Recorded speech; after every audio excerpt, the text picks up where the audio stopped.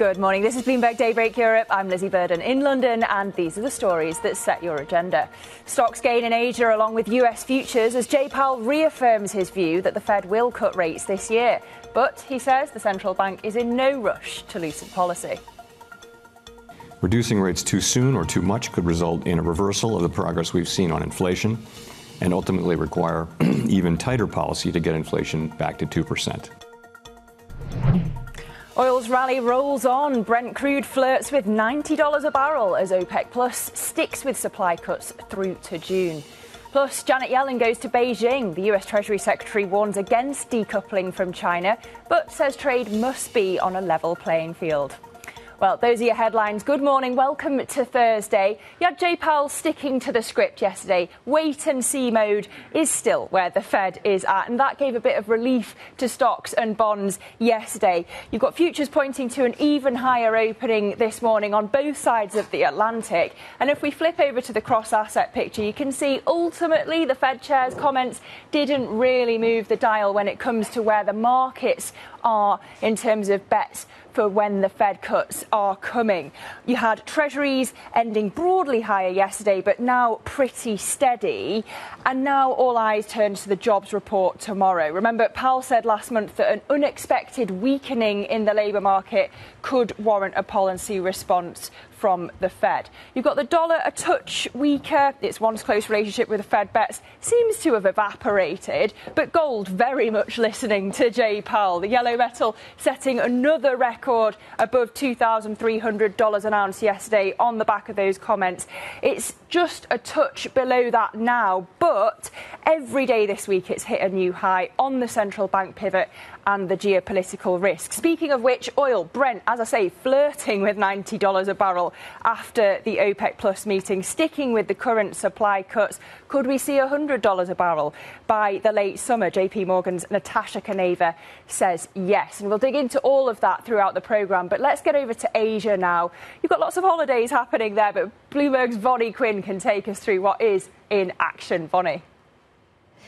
Plenty of holidays, plenty going on as well, though, Lizzy, and some of it thanks to some of what you just laid out there. So, China on holiday, Hong Kong on holiday but returns on Friday, and we have Taiwan on holiday as well as it tries to assess damage and, and, rebuild to a certain extent and also find some more survivors from the island's earthquake yesterday. But do have a look at what is going on because markets around the world, it seems, are reacting to what Fed Chair Jay Powell said yesterday about, you know, continuing to expect to see rate cuts later on this year and to wait and see what happens with the inflation data. Also, don't forget that services data that came in a little bit, you know, less hot than anticipated. The Fed has been waiting on services to show a little bit of a cooling down, let's put it that way. So if you look at the MSCI Asia Pacific Index, you'll see we're up about eight tenths of 1%. Some of that has to do with Japan, up 1.3%. The other thing that's happening in Japan is that earnings start this week, and investors are expecting maybe a little bit more of a payout now in terms of dividends and so on, because Japan has been doing so well and companies have been doing so well, and the yen has been weak as well, which has helped companies for the most part. So Japan up 1.3%. The be up 1%. That's a slightly different story there as well. Thanks to SK Hynix for some of these gains. SK Hynix up more than four and a quarter percent right now. It's going to invest $4 billion in a plant in Indiana in the United States, in fact, but it's going to do some research and development on AI chips. And really, that's having a halo effect on chip stocks around Asia at the moment, is helping those indices move higher, as well as the fact that those chip plants are coming back online as well in Taiwan after yesterday's tragic earthquake. So, as you see, the Kospi up 1% but if we flip up the board, a little bit more volatility in currencies. So the yen today still trading around 150, 170, perhaps not in the danger zone, but that might be thanks to a little bit of relief for the dollar, which had been strengthening day after day after day and finally saw a little bit of weakening today. The yuan, though, the renminbi, is one to keep an eye on because we were very, very close to the weakest part of the trading band once again today. It shows that PBOC policymakers are really very close to more intervention if that does does bypass that. The offshore yuan, of course, has been, you know, flirting with that level for several days. The onshore yuan now as well, it would seem. And then I just wanted to point out copper because you mentioned earlier oil being on a tear. Well, we're seeing it across the commodity complex. Copper at the moment up another eight tenths of 1%. This partially thanks to the PMI data out of China earlier this week, but also all of those other reasons that you just laid out, Lizzy. Yeah, and yet iron ore dropping toward a 10 month low. Why? We'll dig into that later in the programme. Usually you'd see copper and iron ore moving in a similar direction, but we'll discuss the commodities picture in the programme. Bloomberg's Vonnie Quinn in Dubai. We thank you for that update on Asia markets. And now let's dig deeper into the Fed story because we had Fed Chair Jay Powell again signalling that the central bank is going to wait for clearer signals of lower inflation before the Fed cuts rates. Take a listen. These recent data do not however, materially change the overall picture, which continues to be one of solid growth, a strong but rebalancing labor market, and inflation moving down toward 2% on a sometimes bumpy path. On inflation, it is too soon to say whether the recent readings represent more than just a bump. We do not expect that it will be appropriate to lower our policy rate until we have greater confidence that inflation is moving sustainably down toward 2%. For more on this, I'm joined by Bloomberg's Kriti Gupta. Kriti, Jay Powell's message seems pretty clear to me. Why is the market making it so difficult? Because he's not the only one in charge. As you know, simply for the BOE, it's very uh, kind of touch and go in terms of what the consensus actually is. This diversion you're starting to see within the FOMC, going from even the most dovish people like Raphael Bostic, for example, reiterating that he may only see one cut in all of 2024, while some of his peers just 24 hours ago, Loretta Mester, Mary Daly, are saying three are still on the radar. There is a massive difference, obviously, in terms of the read through of that. And that's why I think the best part, way to look at this, interpret this, is what you're seeing in the bond market. Take a look at the 10 year yield, 436 right now. And if you just were to pull it out to an intraday chart, take my word for it, it's very choppy, which shows that the market doesn't know who to listen to, doesn't know where the consensus is coming from because the wage data is so all over the place, because mm-hmm. the inflation data, we don't know if the bump that we saw, the bump higher that we saw in the last couple of months, and it has been two to three months of some hot data, if that's just a temporary kind of bump, or is that something that is indicative of inflation going off the rails? So, June, July, or beyond, when to cut first. Did Powell make clear which data he's looking at to make that decision? I mean, he's sticking with his, his fan favorites, right? The wage data, the labor market is too soft, the, the PCE numbers. He didn't really go veer too much off script here, but I think what's interesting is he did say that, well, we are considering all the options. If you actually look at some of the nitty gritty of what he said, he very specifically said that there could be a reason to reevaluate in a couple of months, as opposed to in previous speeches, he's kind of backed himself into a little bit of a corner to your point about the June and July. And that's why the markets are so careful about pricing in that June cut. Yes, it's below 50%, but it's still on the table because that was a time frame that Jay Powell gave before. The fact that he said this could potentially be a, the early indicator of getting off the rails, an early indicator of inflation being sustainably higher, that was the indication he gave. It's not his base case, of course, but it is something that he's saying this is the questions we have to ask now. And speaking of backing yourself into a corner, where does it leave the European central banks, the BOE and the ECB, who might not want to jump first and go before the Fed? Well, they might not have much of a choice because what every central banker loves to say is we're not watching the, what the other central banks are doing. We're kind of doing what's right for our own country mm-hmm. and nation, which is great. And right, it's an, a bit gigantic eye roll, but this would be a historic moment if the ECB were to cut first. But I think the difference is here is that, and we saw this in the inflation numbers yesterday, the inflation is coming down faster in the Eurozone. You aren't seeing that tick up in the data that you are seeing in the United States. And that's why that divergence actually makes sense. The fact, the difference, I would say, now is that markets are actually starting to believe in. The best way to see that is in the currency picture. Yeah, indeed. And we're going to dig into that with our MLive team later on. But Bloomberg's Kriti Gupta, thank you for joining us. And Kriti will be on markets today later in the morning. But now, let's get back to the geopolitics because we've got a significant meeting happening. NATO foreign ministers meeting in Brussels today as the alliance marks its 75th anniversary. Secretary General Jens Stoltenberg will be speaking later this morning at 9 a.m. UK time. But here's what he had to say after the Bloomberg scoop on his proposal for a $100 billion five year funding plan for Ukraine. We are transforming NATO's comprehensive assistance package into a multi year uh, program of assistance. We are helping Ukraine move closer to NATO, NATO standards on everything from procurement or logistics. And we are supporting Ukraine's reform efforts to bring Ukraine ever closer to the alliance. Joining us now for more is Bloomberg's Natalia Drozdiak in Brussels, who's been all across this meeting. Natalia, I noted that Blinken's official plane broke down on the way to this meeting. Is the turbulence a sign of what's to come?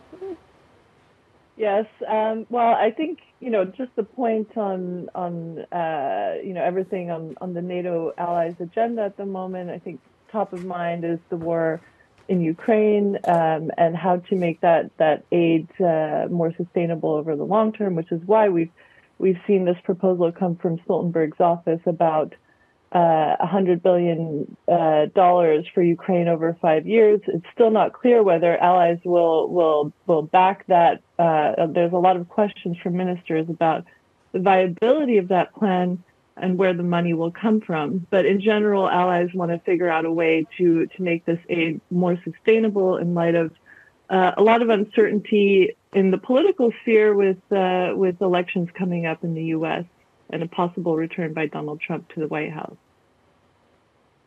Yeah, because perhaps that could undo this proposal, even if it goes through. So, how united are allies about that, but also the challenges they're facing in general as we're at this 75th anniversary of the organisation? Yes, I, I, mean, as I mentioned, they're they're facing these internal challenges, you know, with uh, with a, a some doubts among allies about the commitments by the U.S. to uh, European security, not just because of the Trump threat, but for a while now, the U.S. has been pulling away and shifting more focus towards Asia and China. And so European allies are realizing that they're going to have to step up more in a, in a much more significant way than they ever have. Uh, so you have these internal these internal dynamics, but at the same time you have the biggest land war on the continent that, that Europe has seen since uh, World War II. And you have all these other conflicts erupting, including in the Middle East. So they're having to manage all of these tasks at the same time. And of course, they've got to pick a successor to Jens Stoltenberg. Where are we in that race? Well, I think uh, you know mo- the the majority of allies had wanted to sign off on Dutch Prime Minister Mark Rutte at this meeting, um, but there was a bit of a surprise twist in in recent weeks. Uh, the Romanians put forward their own candidate with President Klaus Iohannis, so that's delayed uh, the timeline on on signing this off. But the feeling is that that candidate came came forward a bit too late to make any real difference. So most likely Rutte will be uh, uh, Jens Stoltenberg's successor, but it will just take a few more weeks to, to sign that off. Well, we're going to be speaking to the man himself. Uh, but Natalia Drozdiak in Brussels, thank you for that update on the NATO meeting. Stoltenberg is going to join the surveillance team for a live interview tomorrow, and they're going to discuss, of course, aid to Ukraine, the prospect of a Trump presidency, and those succession plans. That interview at 12:30 p.m. UK time. Do not miss it. We've also got plenty more on the docket today, though. At 7:30 a.m. UK time, we get Swiss CPI for March. That's expected to have ticked up to 1.3%, though it has fallen rapidly in the past few months, just for context. It precedes the ECB's minutes at 12.30 p.m. UK time. You've got a June cut, as Kriti says, looking like a done deal, and therefore the focus turning to how many cuts will follow this year. An hour after that, we're going to get US initial jobless claims. We'll watch out for how many people were laid off as a result of the Baltimore Bridge collapse, of course. And that'll tee us up for the main data event of the week, the US jobs report for March that comes out tomorrow. We'll also get Fed speak from Mester, Musalem, Barkin, Harker, and Goolsbee. What a mouthful. Whatever happened to less is more, hey? We've got so much Fed speak this week. But you can get a roundup of the stories you need to know to get your day going in today's edition of Daybreak. Terminal subscribers can find it by going to DAYB Go. That's how I like to start my day with a cup of coffee. Coming up, we're going to go to the Middle East pressure on Netanyahu is mounting. A prominent member of Israel's war cabinet says national elections should happen as soon as September, not in 2026. We'll have more on that next. This is Bloomberg.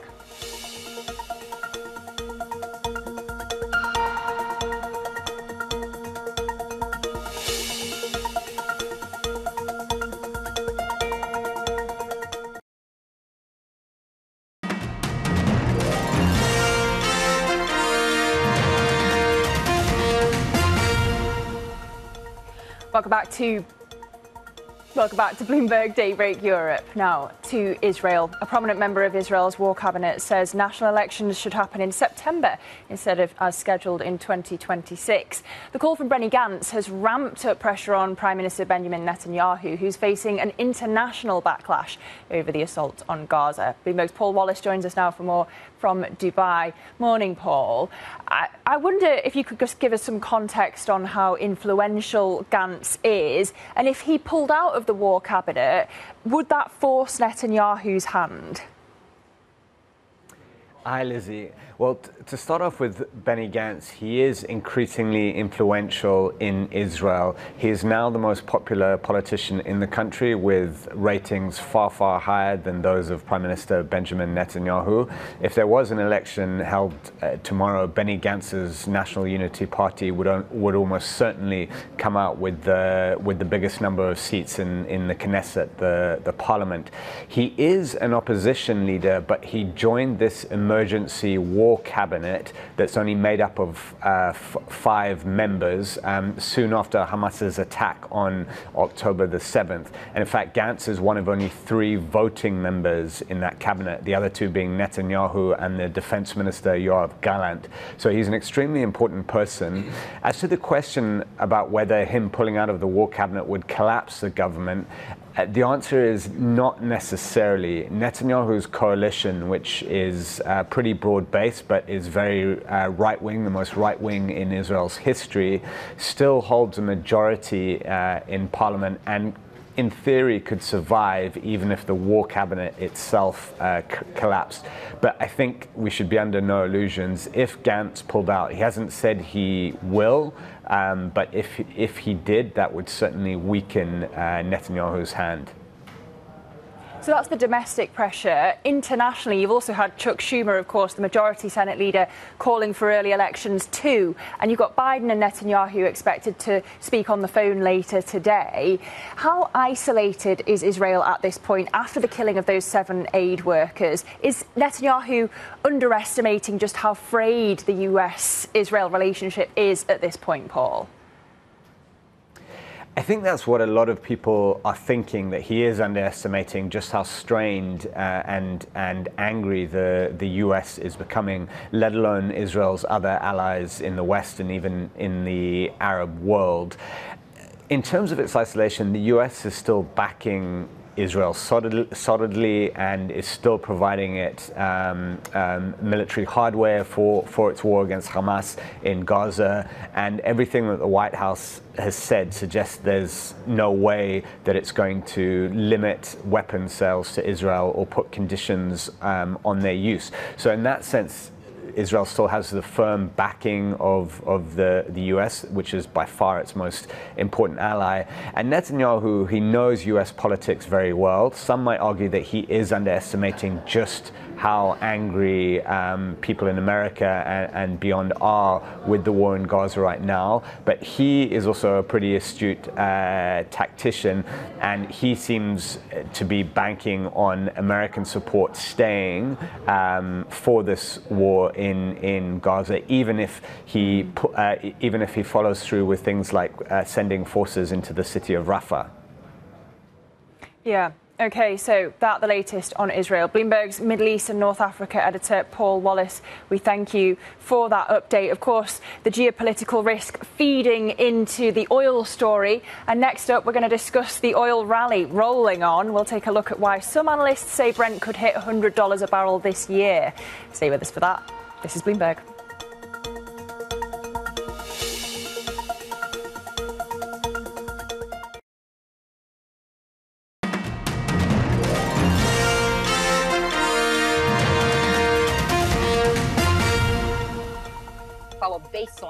Assumed since unchanged since last June assumed that we'll be hitting $90 by May. So it, it does seem that it's you know being brought forward by about a month and will be there by April. Uh, but again, you know, that as you absolutely correctly pointed out, the risk is that actually on the way to our price forecast, we'll, we will be hitting $100 as well. That was JP Morgan's head of global commodities strategy, Natasha Kaneva. So, no surprises here. OPEC Plus sticking to its supply cuts despite crude prices at almost $90 a barrel in London, the highest this year. And Natasha, they're telling us you could see oil, uh, you could see oil at $100 a barrel by August or September. Let's get more now from Bloomberg senior energy reporter Stephen Stapczynski. Stephen, I had a note in my inbox from SEB's commodities team saying that the higher oil price is more about tighter supply than geopolitics. Are they right? I mean, I think certainly this is a story of fundamentals. And what's what's most interesting about it is when you looked at the fundamentals coming into the new year, I'm sure I was sitting in this chair in December saying how everything was looking pretty bearish. Uh, for 2024, but OPEC Plus has come through. They've they've they've had their cuts. They were expecting some froth in the market, so they carried through the cuts for the first quarter put them through into the second quarter. They had a meeting yesterday saying that they're going to extend them through through they reaffirmed that they will extend them through June. And, and demand has been a bit more resilient than I think some people had expected, um, with the economy kind of kind of trudging along, and all of that together is feeding into uh, a, a, bit of a deficit. The IEA says that there's a deficit uh, for o- the oil market in, in the second quarter. At the same time, you also have a few different things happening around the world. You've got Mexico reducing um, their exports of heavier crude to refiners. That's going to cause a bit of an issue.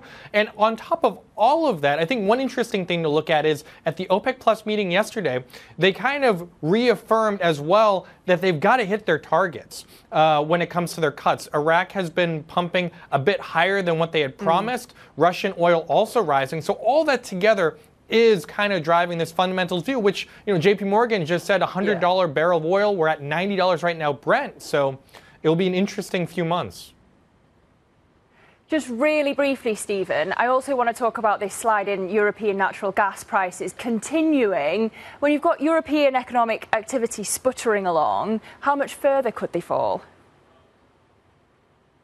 You know, I, I think what's interesting is they could continue falling, especially since they, they you know, their inventories are so high. I think one of the factors to look at, European prices and Asian prices are sort of linked to a degree. And um, if, if prices fall low enough, it could trigger some buying in Asia. Uh, the Chinese, um, as well as India and Southeast Asian countries, might be interested in buying some LNG. So less LNG will go to Europe, more will go to, to Asia, and that could act mm. as sort of a floor.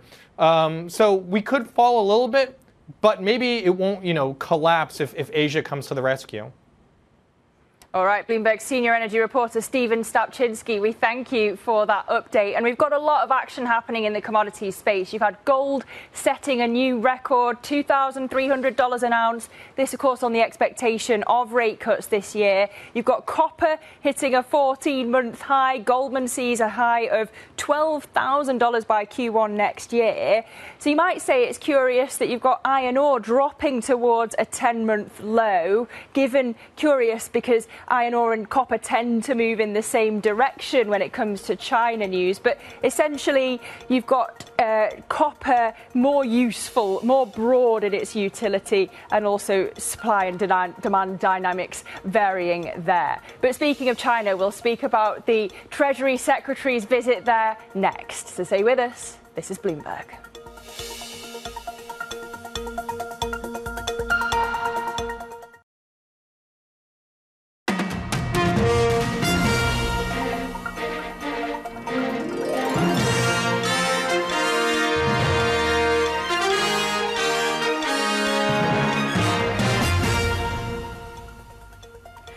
Good morning. This is Bloomberg Daybreak Europe. I'm Lizzy Burden in London, and these are the stories that set your agenda. Stocks gain in Asia along with US futures as Jay Powell reaffirms his view the Fed will cut rates this year. But he says the central bank's in no rush to loosen policy. Reducing rates too soon or too much could result in a reversal of the progress we've seen on inflation and ultimately require even tighter policy to get inflation back to 2%. Oil's rally rolls on. Brent crude flirts with $90 a barrel as OPEC Plus sticks with supply cuts through to June. Plus, Janet Yellen goes to Beijing. The US Treasury Secretary warns against decoupling from China, but says trade must be on a level playing field. Well, good morning. Welcome to Thursday. And if we just think back to Jay Powell's remarks yesterday, we're still in wait and see mode. Not a lot changing when it comes to his message there. So you had relief for stocks and bonds yesterday, and you can see it's set to continue later today. Futures pointing to a higher opening both in the US and in Europe. And if we flip over to the cross asset picture, you can see really those comments from Powell didn't move the dial much when it came to expectations for rate cuts from the Fed. Still pretty much on a knife edge when it comes to whether we'll have a June cut. You had Treasuries ending broadly higher yesterday. The two year Treasury yield currently at 4.68%, so higher a basis point this morning. But the dollar has been a little weaker this morning. Uh, really, it's not as coupled as closely with expectations for Fed moves. That relationship seems to have evaporated somewhat. Gold, though, very much listening to the Fed Chair Jay Powell. It has hit another record high Every day this week it's done that. $2,300 an ounce it smashed through, just below that level at the moment. And Brent, $89 a barrel. We've been discussing just there uh, the OPEC Plus meeting, sticking to supply cuts, but also factoring in the geopolitical risk. Could it hit $100 a barrel by late summer? JP Morgan reckons so. But let's get over to Bloomberg's Vonnie Quinn. She's got an update on how Asia markets are faring. Vonnie. Lizzy, thank you. Well, we are off the boil now on some of these markets, but still a nice rally today. Bigger picture China, Hong Kong, and Taiwan are all closed. Hong Kong will be trading, though, in the Friday session. So, as you can see, we are counting on some markets to keep us higher in this rally today. The MSCI Asia Pacific Index up about six tenths of a percent now off its highs. The Nikkei was up as much as 1.6% earlier. It's up just less than 1% now. Plenty of good news coming out of Japan, including the fact that we're starting earnings season for Japanese companies and they're starting to make announcements. So we had Konica Minolta, for example, announcing job cuts just a little bit earlier on. That sent that stock higher. Probably was enough to put some fear into the market, but we are also seeing investors expecting more in the way of dividends more in the way of payouts from companies. So that could be coming down the pike this quarter for Japanese companies. And then we have the chip story. We have the Kospi rallying now more than 1%. That's thanks in part to SK Hynix, which is investing $4 billion in a factory and a research and development center in Indiana in the United States. And that's having a halo effect on chip stocks across the region. And it's also sending the Kospi to a 1.1% gain right now. Now, across the region, we're also seeing the re-onlining of factories after the tragic Taiwan earthquake yesterday, which has killed at least nine so far and several others injured. Also, we don't know how many others are still trapped or missing. But the factories themselves, at least, are coming back online, and that's having a positive impact on the chip players. Elsewhere, it's the macro story, right? It's a little bit of relief for the dollar, which is helping with some currencies, including the yen, 151.69, so slightly away from the danger zone. We also had comments from the former Bank of Japan member, Mako Makoto Sakurai, who said that the bank would be likely to wait until around October before we see another interest rate hike. So that's likely to be playing into those dynamics today, too. A little bit less uh, satisfying to see the yuan trading very close to the weakest end of its trading band because we've been seeing that now for a few days. And it's been obvious that the PBOC and authorities have been watching it closely, perhaps even intervening or at least stopping swaps contracts going ahead and so on, doing small things like that. But it's not enough to dissuade the bears, right, that we're going to continue to weaken. So we are seeing both the onshore and the offshore flirt with that weekend of the trading band. And then you mentioned commodities earlier, rising. Copper up another nine tenths of 1%. China PMI is percolating through the market. Maybe not the iron ore market, Lizzy, but definitely the copper market, which is really at a 14 month high at this point. All right, still plenty happening in Asia markets as it happens, even though China, Hong Kong, and Taiwan are on holiday as a reminder. Bloomberg's Vonnie Quinn in Dubai, bringing us the sunshine. We thank you for that update. Now, let's get back to the Fed Chair, Jay Powell. He spoke yesterday, signalling that policymakers will need clearer information of lower inflation before cutting interest rates. But he says the bump in prices recently hasn't altered the Fed's broader trajectory. Well, let's bring in Mark Cranfield from Bloomberg's MLive team now. Mark, we saw Treasury yields going through a bit of a round trip yesterday. The hawkish uh, comments from Bostic sent yields higher. Then you had Powell a little dovish, sending front end yields lower again. You also had the economic data feeding into the story. What market reaction could we see from the jobs data we have yet to come? Well, really, I think if there's going to be any big changes, we're going to see it in the foreign exchange world. So we're in a pretty interesting situation here for the for the US dollar. Positioning wise, traders are pretty long US dollars. They have been for a few weeks, which not, is not surprising really. We've had a strong set of US data. We've also had fairly hawkish speakers from the Federal Reserve pushing back against early rate cuts. So we come to this point where the jobs data comes out tomorrow. Market is generally relatively long of the dollar. You can see it especially in the dollar yen, which is still getting not far from 152.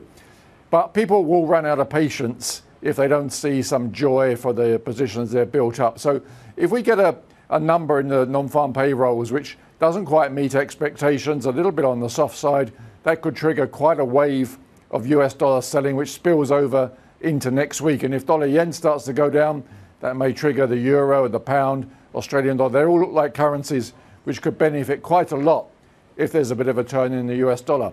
Even if the jobs data is very strong, pushes up dollar yen, we would expect the Japanese authorities to have limited patience as to how much further they allow it to go.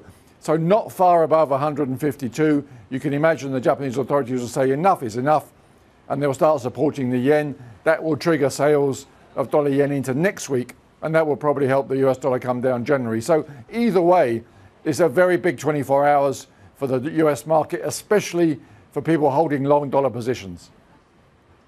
And when you've got rate cuts delayed, Mark, what does it mean for bonds and equities?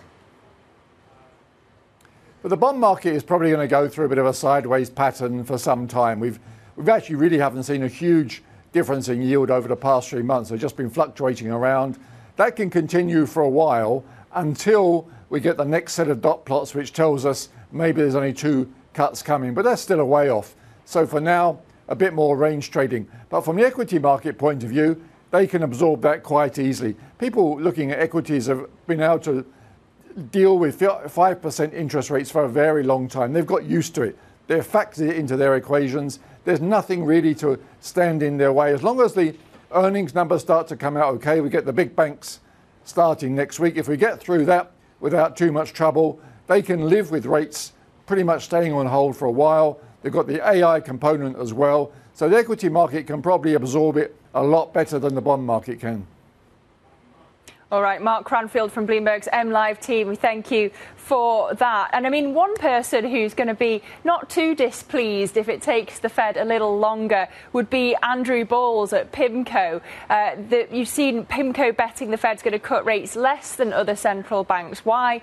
Because they have this higher proportion of fixed rate mortgages, uh, and therefore it takes longer, they reckon, for monetary policy to feed through, and therefore they've been favouring debt here in Europe and the UK instead. Interestingly, we're going to be speaking to Andrew Balls later in the day on markets today.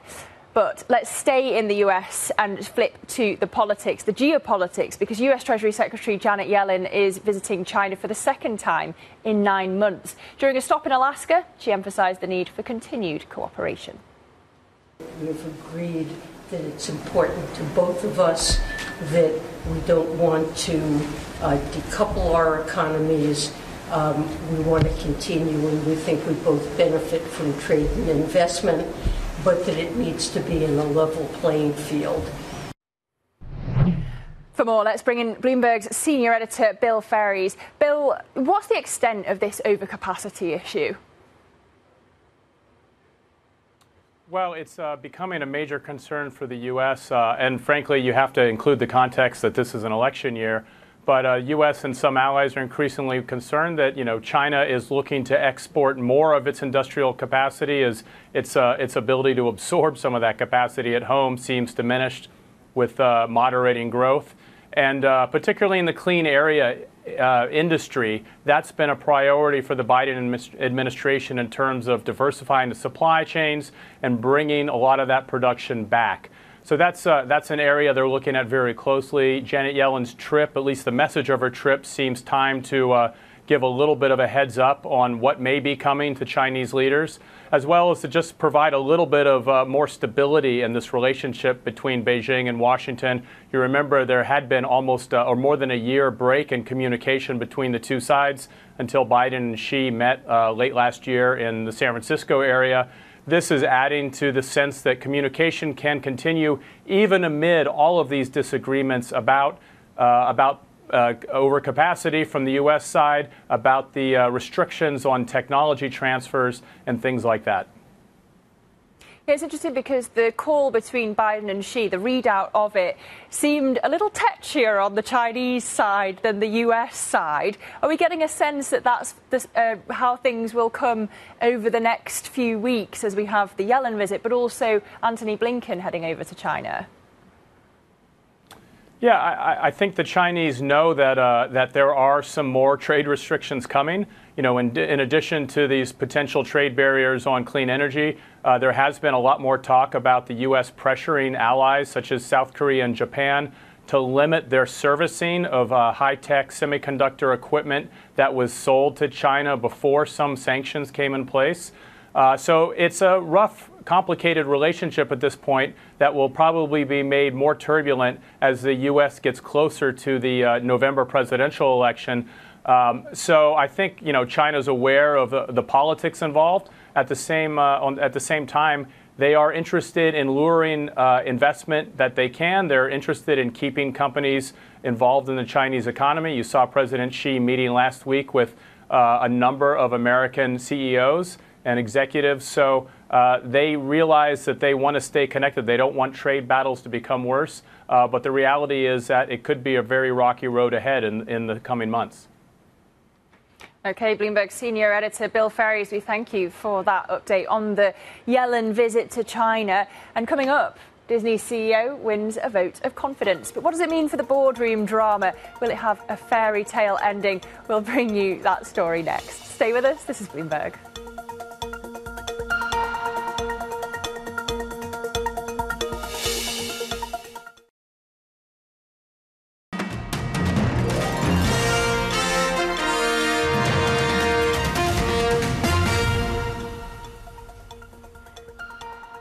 Welcome back to Bloomberg Daybreak Europe. Now, Walt Disney shareholders have handed CEO Bob Iger a big vote of confidence, rejecting dissident investor Nelson Peltz's bid for a board seat. Sources say that Peltz won just 31% of the votes cast, and the stock fell the most in more than six months following the result. But it's still up almost 32% so far this year.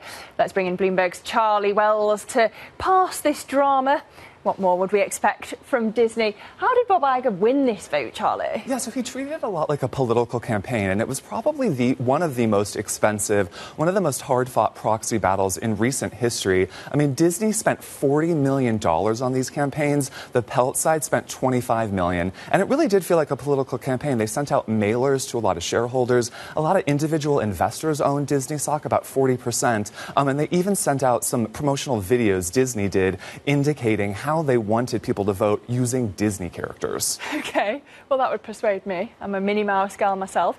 Is Nelson Pre- Peltz therefore going to retreat in this fight? So Peltz's uh, Trian Partners owns $3.5 billion worth of Disney shares, and he's tried to get seats on the board before. He indicated even before yesterday's vote that he would continue to watch the company. I mean, he's got a lot of skin in the game, so it seems like he's not really going anywhere. And some of the issues that he brought up in this campaign weren't solved yesterday. He had a lot of issues with Disney's content, he had issues with Disney's succession planning, and of course, those are problems that weren't solved yesterday. So, therefore, where does Disney go from here? I mean, they really need to be razor focused on Iger's turnaround plan. And he's been really trying to update, say, ESPN for the streaming era. They've been investing a lot in parks. And I mean, we think a lot about Disney movies, but Disney parks actually bring in about 70% of that company's profits. They've invested some $60 billion in those parks. It's looking pretty good, but they've got to stay razor focused focus because all eyes are on them.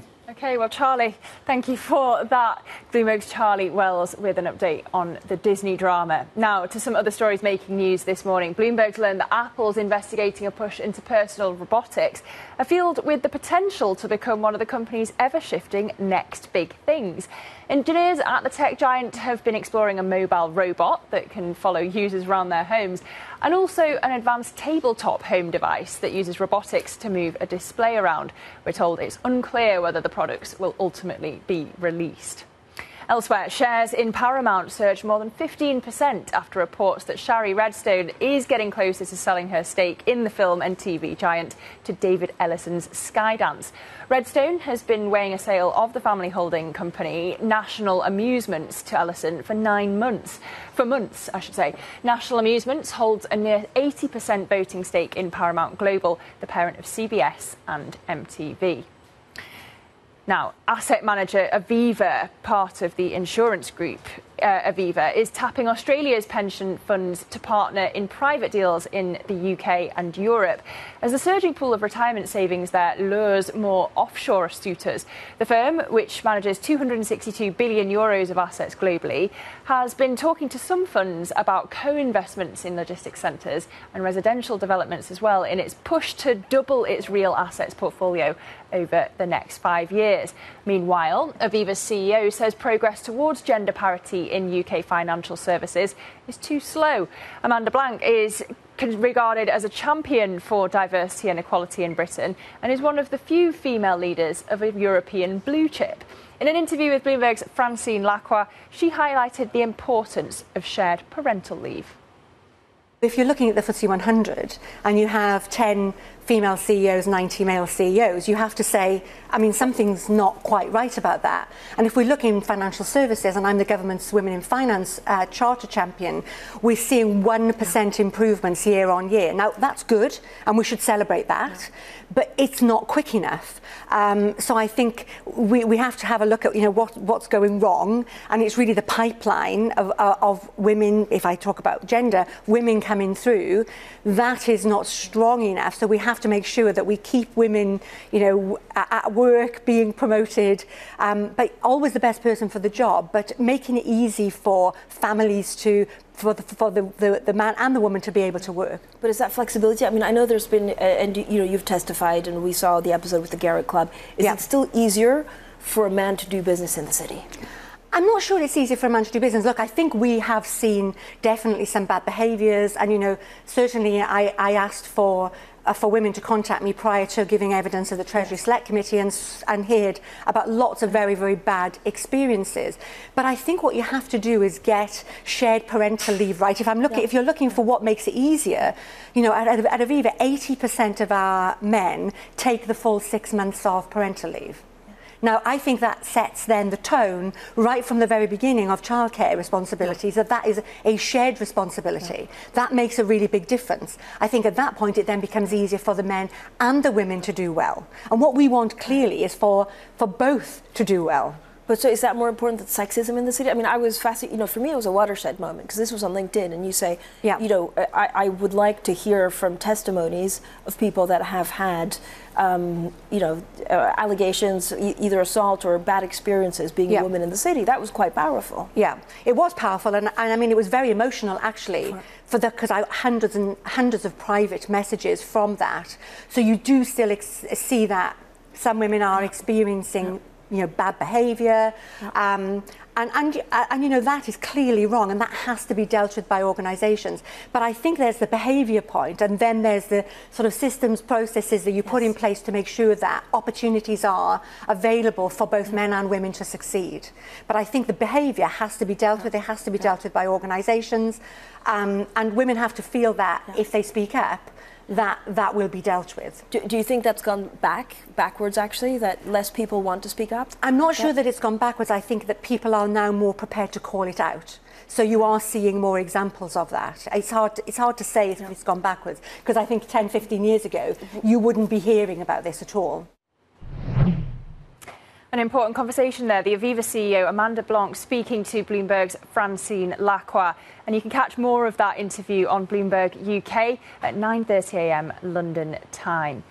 Well, Next up, we're going to talk about the recent Fed speak, including the Fed Chair Jay Powell yesterday. If your head is spinning, we've still got Mester Musalem, Barkin Harker, and Goolsbee to come today.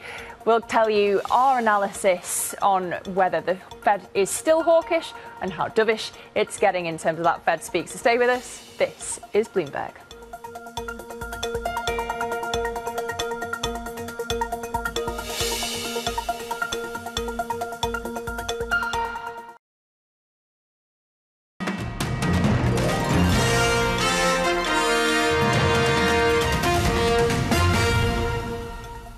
Recent readings on both job gains and inflation have come in higher than expected. The economy added in an, an average of 265,000 jobs per month uh, in the three years through February, a faster pace than we have seen since last June. These recent data do not, however, materially change the overall picture, which continues to be one of solid growth, a strong but rebalancing labor market, and inflation moving down toward 2% on a sometimes bumpy path. If the economy evolves broadly as we expect, most FOMC participants see it as likely to be appropriate to begin lowering the policy rate at some point this year. Of course, that outlook is still quite uncertain, and we face risks on both sides. Reducing rates too soon or too much could result in a reversal of the progress we've seen on inflation and ultimately require even tighter policy to get inflation back to 2%. Jay Powell reiterating that his central bank is still in wait and see mode. And if your head is spinning from all of the Fed speak we've been having this week, fortunately, Bloomberg Economics has been tracking it all for us, every single word of it. And they reckon that if you look at sentiment, actually, it's still in the hawkish side, but becoming increasingly dovish cautious is the word that Mike McKee would use. But where does that lead central banks in Europe who might not want to go first before the Fed? If we flip the board, you can see the ECB may cut ahead of the Fed. This is what markets are currently pricing. Uh, and where does that leave currencies? Well, a potential risk here in Europe. But still to come on the programme, uh, next up we've got Markets Today, and they're going to be speaking to Andrew Balls, PIMCO's CIO for Global Fixed Income. So do catch that interview at 8 a.m. UK time. Kriti Gupta and Guy Johnson will be with you next. This is Bloomberg.